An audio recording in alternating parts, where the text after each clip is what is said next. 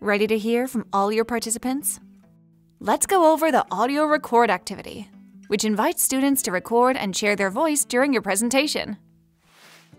To get started, write your audio response question and then add the audio record button to your slide. Next, let's customize the behavior of this question in the side panel.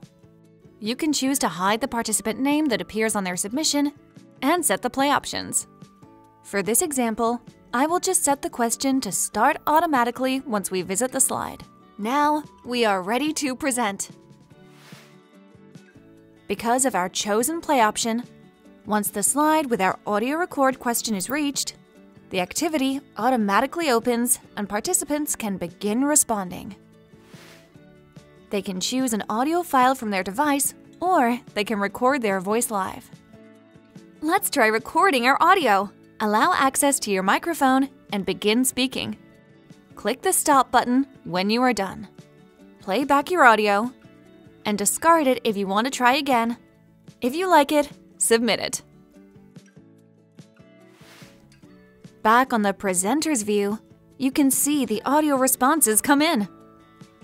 After all the participants have submitted their recording, you can close the question. Listen to a response by clicking play. She isn't flying to California tomorrow. Use the search bar to locate names. And award stars to any or all participants. To listen to the rest of the audio recordings after the presentation, click the View Responses button in the side panel. For external review, download all the responses, which will save as MP3 files on your device. Excellent!